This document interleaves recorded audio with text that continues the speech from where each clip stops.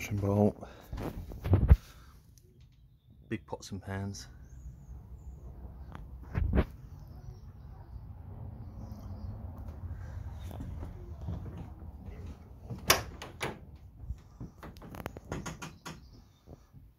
Flushing toilet.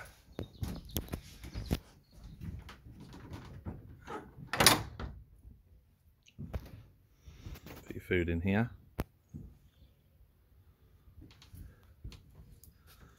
Beds.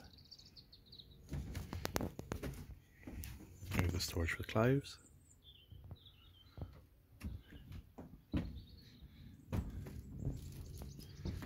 And the double bed again.